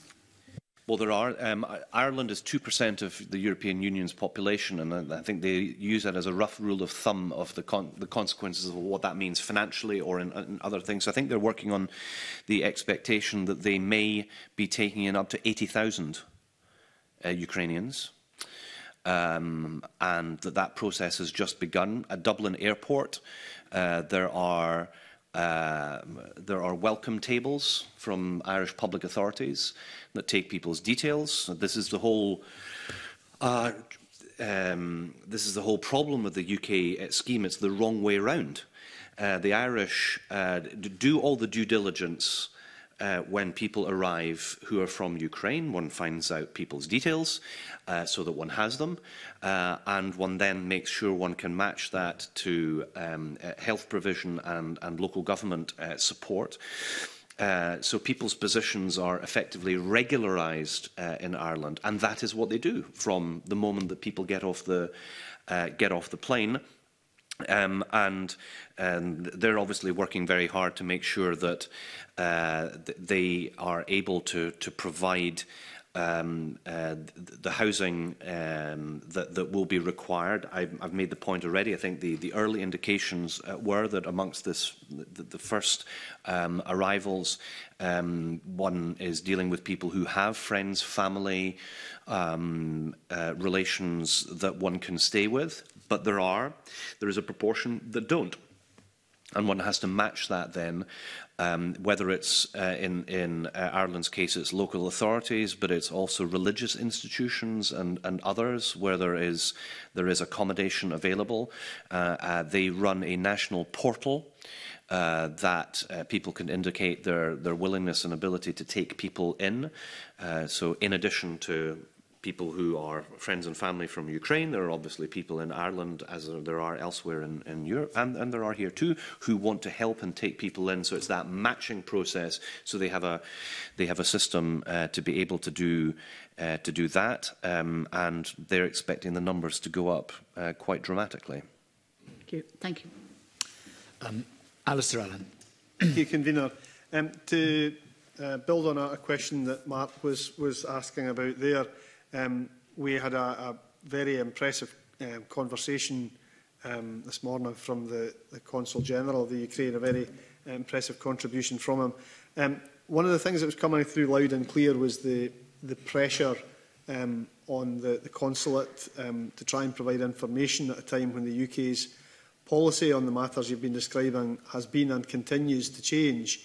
Um, do, you, do you feel that looking back, for instance, at some of the some of what we did in Scotland to provide information to people post-Brexit, to communities living in Scotland who um, realised that the Scottish Government couldn't perhaps sort the, uh, the problems that, were, that, that the UK Government were responsible for, but that we were able to provide information. Um, we, we were talking, for instance, in, in the session this morning about whether there was any anything that could be done to provide a single point of contact for, for, for information, particularly for the, the community of Ukrainians in Scotland. So do, do, you, do you feel that the, the government would be able to, to work with that community and with that consulate to try and find ways to do some of that? So we, we are already working with the um, the consulate, and we're already uh, working with the community on a on a daily basis to work out what it, what are their their needs, their interests, their concerns, their expectations, and that goes uh, from. Uh, from one side, um, offering to be helpful and supportive to the, the Consul General himself um, uh, because of um, uh, the, the, I mean, his phone just goes incessantly. Um, I've met with him quite a number of times. Uh, forgive me, I don't know if you were meeting with him in person or you were doing a team, you were meeting in person. Well, I've, I've been on numerous Teams calls where you know, he's, uh, he's sitting there and uh, talking about everything that's very important from the perspective of the consulate, and the phone is just going non-stop. Um, and so there's been help and support has been uh, offered from the Scottish Government, as there has been from other consulates. Um, and that's a matter for the Consul General, obviously, because we're talking about the we're talking about the you know the consular responsibilities of um, uh, the Republic of Ukraine. So it's for them to work out what's the most appropriate thing. But you know, um, we have been very clear that we're wanting to uh, we're wanting to help there. Um, at the heart of the, the, the, early stages of what we're doing, and no doubt going forward a lot, uh, is the involvement of the Scottish Refugee Council, that has a lot of experience. Um, and uh, in the meetings that I've been having uh, with Shona Robeson and the Ukrainian co um, Consul General and the Ukrainian community, including its organisations, um, and the Scottish Refugee Council and the police and other public um, authorities, we have been trying to work through uh, all of these different um, issues of messaging and uh, communication and as is the way of these things, one just has to make sure one is using every single route possible to make sure that people are hearing and learning um, uh, about the things that they need to um, they need to do. Now, some of what we're talking about here is a capacity issue uh, is how can one make sure that the consulate has everything that it requires? How can uh, the Scottish Refugee Council um, um, uh, have the capacity to deal with the scale of the challenge as that as that develops, and that's very much at the um, at the forefront uh, of our uh, of our uh, thoughts. Um, office space uh, is already being provided by the Scottish Refugee Council for the Ukrainian uh, uh, communities and is, is coordinating and is supporting uh, them. Uh, so uh, is there more that can be done, whether it's on communication or anything else? Absolutely. And we are, we are doing that. And if, because things are changing very quickly, uh, we will need to make sure that we're doing the right things in the circumstances as they develop. But um, Um, our Ukrainian colleagues are very well aware of the offers of help that are there for them, um, uh, as are the Ukrainian uh, community. The, the, the First Minister was with the uh, Ukrainian co uh, community in Edinburgh yesterday. Um, and we are talking with one another on a, on a daily basis uh, to try and make sure that we can do everything that we can. On an, another theme, um, you, you mentioned yourself the, the multiplicity of needs that people will have when they, they arrive in Scotland. Uh, one of those presumably will be people who have a whole variety of medical needs but may not have medical records because of their situation. Um, how, do, how do you feel that we can ensure that the NHS is in a position to, to try and support those people in that very unusual situation? Uh, so that there's that group of people. There are others, including people with disabilities, uh, as well that we're very mindful of, and um, that's something that um, uh, our colleague uh, Pam Duncan Glancy raised with me in, in the chamber uh, last week, and we are very seized of. Uh, the, the different spectrum of, of needs that people arrive with. On the technical question of Ukrainian medical records, um, I'm, I'm going to have to come back to Dr. Allen about that. Um, uh, Ukraine is a developed country um, that um, has uh, computerized um, uh, data management uh, systems, and notwithstanding the fact that it is uh, in a war situation, it has a functioning um, medical system, and the largest part of the country is not occupied. So there, there must be ways in which um, uh, there can still be access to information. Um, but that very much uh, depends with the capacity of the Ukrainian health system, which you know I think we can all we can all um, understand is hugely under strain because of the the injured. Um, uh, civilians in particular, but also military personnel who will be treated right across the country. So I, I will take that away. Um, um, uh, but I, I know that our, our, our health uh, service and um, uh, everybody that uh, uh, assists in, in areas such as disability are, uh, are going to be very seized of making sure that we're able to do everything that we can to, to help. Sarah Boyd, please. Thanks very much, Convener. I think your comments about the hopefully significantly changing picture and visa regulations reinforces the unanimity our committee had about the need for intergovernmental working on issues. Um, it's made very powerful this morning. Um, I, I want to follow up on two things. Firstly, um, the comments that Mark Ruskell and Fiona Hislop made about uh, seasonal workers, that really came through very powerfully from uh, the Ukrainian consul this morning because there are six to 7,000 of them. They are very geographically located, Lothians, Edinburgh, St Andrews, Dundee and Falkirk.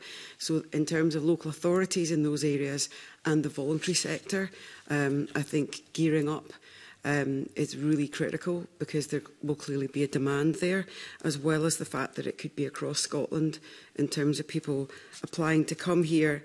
Um, and as you've acknowledged, the Ukrainian consul said their ambitions is not as permanent refugees. They very much want to be short term and it, it um, reinforces those points. I, I, I would definitely guide you to look at the, the official evidence we've had earlier today, which has been very specific and helpful.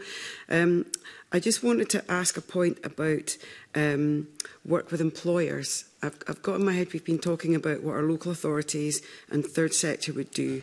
Um, and one thing that is clearly, I hope we can agree on, is using our soft power as a country.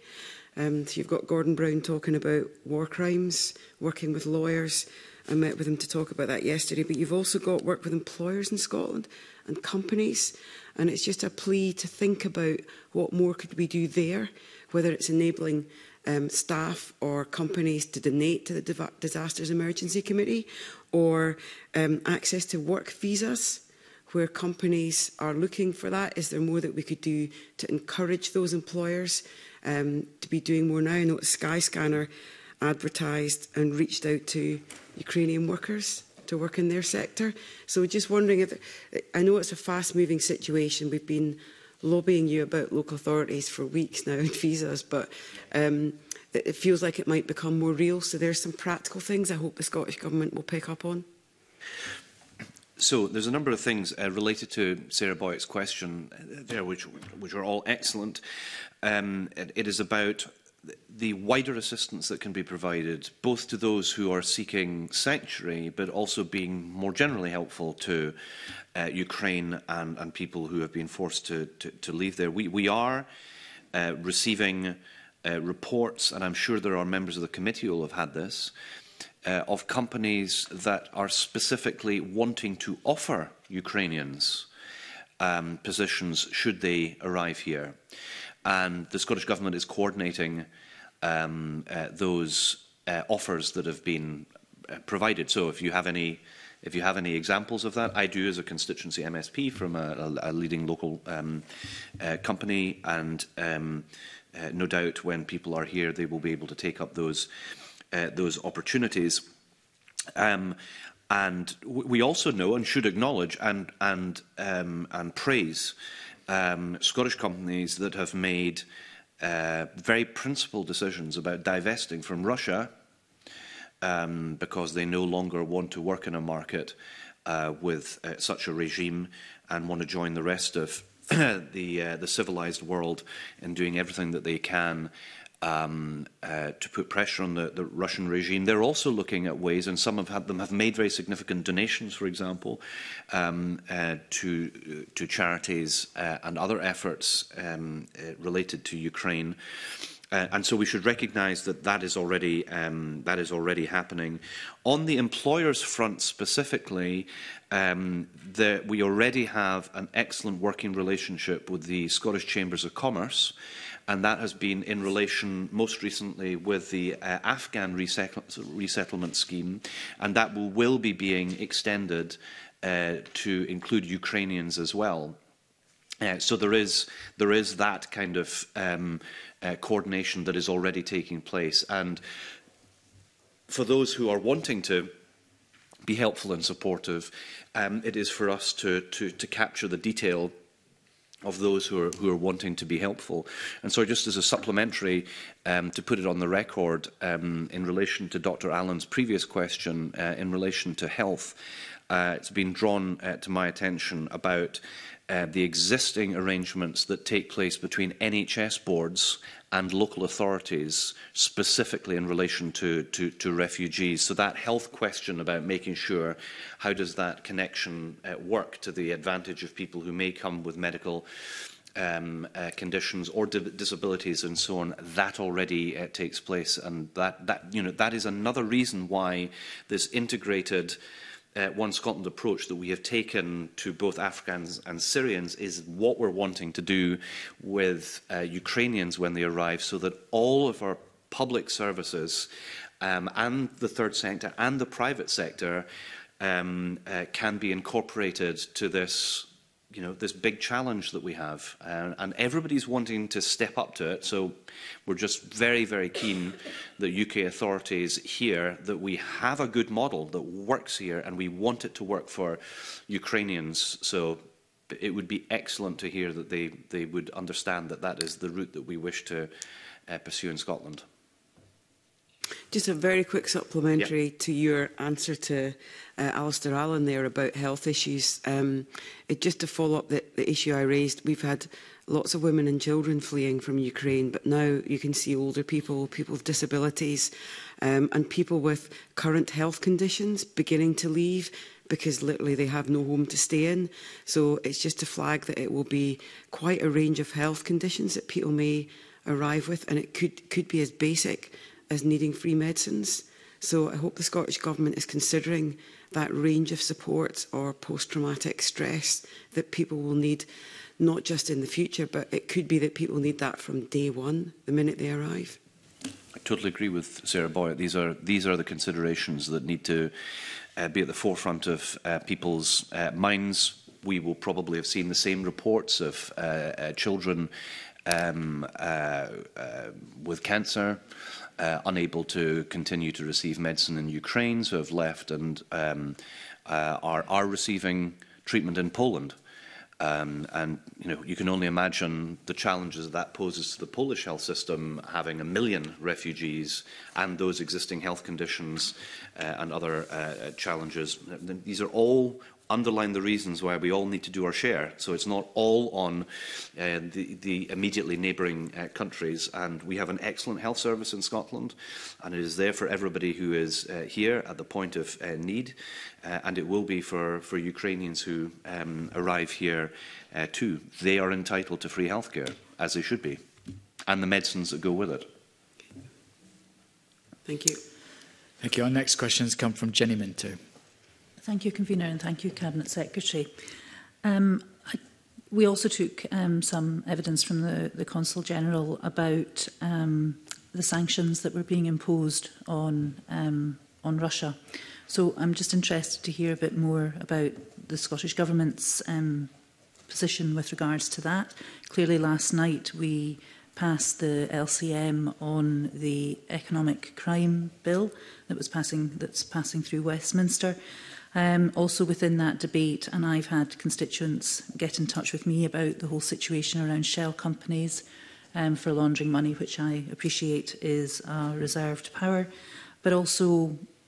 businesses um, and uh, the, them trading with Russia and how we can um, encourage or change their um, situations.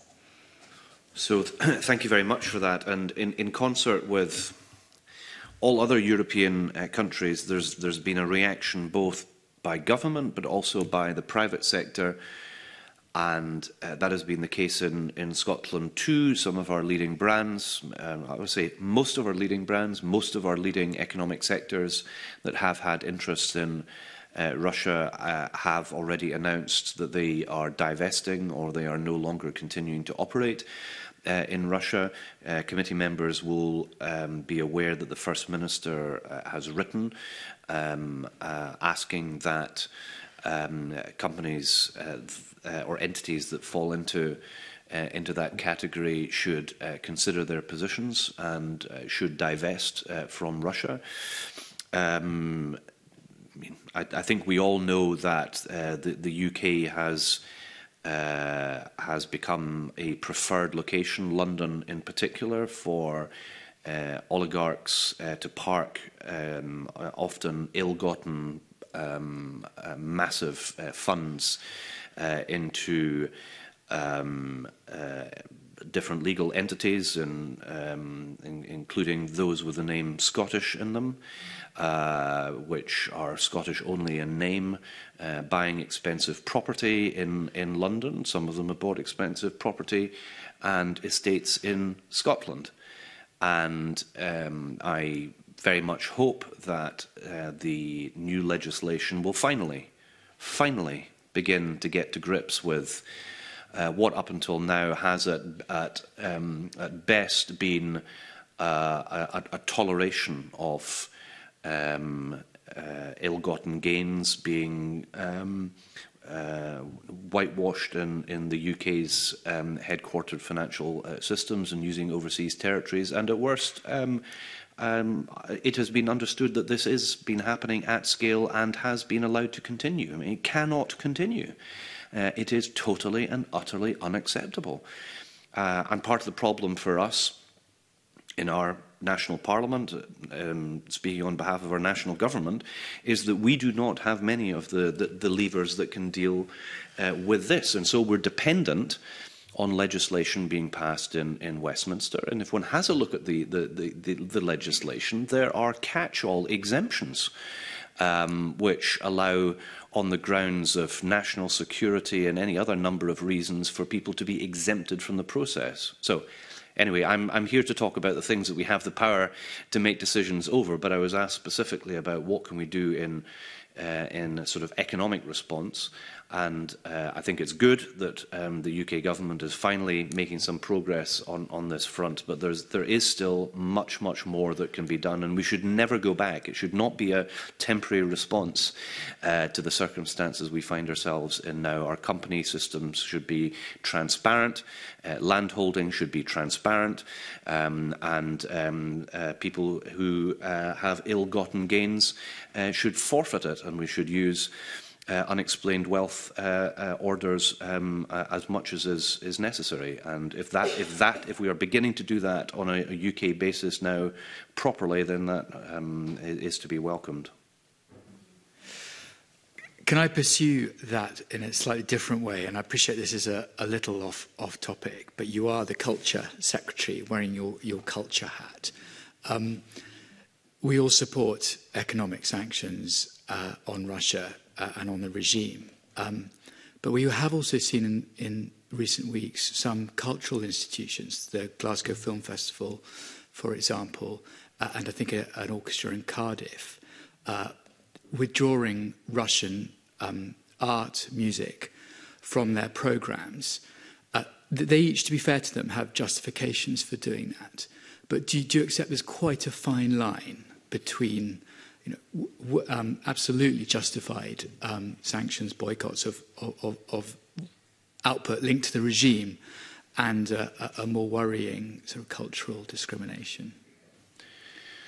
Um, so, yes, in principle, uh, I, I agree with the, the convener that there, um, there is a fine line in all of this. There are very principled Russian, uh, often exiles, uh, whether in the cultural sphere or in journalism or in uh, political uh, activism, uh, who are opponents of the Putin regime, uh, who have spoken out against uh, the approach of the Russian government, who have uh, pursued um, through violent means uh, their, their aims. This is not the first time, as we know. They have done so in, in, in Georgia twice. They've done so in uh, in Moldova. They've done so within their own borders in, in, in Chechnya. They're now doing it. So this is not a new phenomenon. Um, and uh, we've now got to a stage where the international community is, is saying, well, uh, we need everybody in Russia to understand it cannot go on. And, and so there is a general approach of divesting from Russia. Uh, there is a general approach of uh, uh, ending the participation of official Russian uh, Uh, delegations, teams, uh, and so on. But I think at the heart of uh, what you've asked, uh, convener, is uh, uh, an appreciation of the nuances of the honorary president of the Edinburgh Festival, uh, who has not spoken out against uh, the, the Putin regime, uh, being asked to give up his position, and quite rightly so. Um, but we have uh, in uh, a conductor of the uh, Scottish Chamber Orchestra, somebody who has uh, who has taken a principled position um, uh, in condemnation of the the, the Russian uh, government. So I think you know there is there and must be um, uh, nuance about the approach that we're taking to Russia, which recognizes that there are a great many people um, who should be uh, applauded for their principled stand, whether those in exile, so those who might be here, but also the thousands of people who've been protesting on the streets of uh, uh, of Russia itself, and we need to make sure that whilst taken um, a, a very strong and principled stand, which is aimed at having uh, a, a significant uh, impact on Russian public opinion and the Russian regime, uh, but at the same time is nuanced enough to uh, encompass um, those Russians who are opponents of the, of the regime, and I'm sure there nobody would wish an intended consequence of um, uh, of, of causing them um, difficulties. On this topic, and just to finish off, I'm going to bring in a, a previous culture secretary to to follow up on that would point out that no Russian minister was ever invited to the Edinburgh International Culture Summit since 2014, when uh, Russia obviously invaded uh, Crimea. Um, culture is very powerful to build connections, and we've learned that actually with incoming refugees from other countries. So uh, I would impress on the, on the Cabinet Secretary the importance of that cultural connection for when people arrive here, and also in the rebuilding of um, uh, Ukraine as well uh, when eventually uh, peace arrives in terms of um, hope and culture giving hope, one of the most hopeful things I think we heard this morning from the um, Consul General was uh, the re-establishment of the online learning for Ukrainian uh, children uh, happening in Ukraine, but also uh, we need to prepare for that when they arrive here.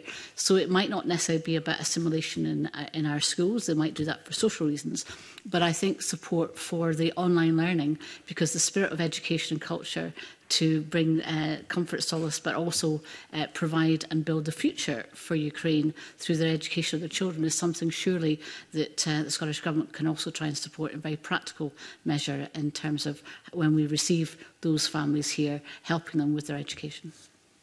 I think that, that might perhaps be paraphrased as an invitation to a further evidence session where we can talk at length about what it is that we can do because I've got I've got a lot of views about things that we can be thinking about in the more medium and long term uh, after Ukraine um, successfully repulses the Russian invasion of its uh, country. Uh, one of the, the conversations I had in recent days uh, was with the Convention of Scottish Local Authorities and the, the Lord Provost and Council Leader of Edinburgh City Council, which is twinned with Kiev. And um, uh, we had a conversation at some length about the potential for our local authorities, our cities, our towns that do not have existing links with communities in Ukraine to think about partnership and or twinning going forward from now So when Ukraine uh, has emerged victorious uh, and is needing to rebuild its infrastructure, uh, that there can be direct relations between Scottish towns, cities and regions with parts of Ukraine. So I think, I think there's quite a lot of opportunity in that.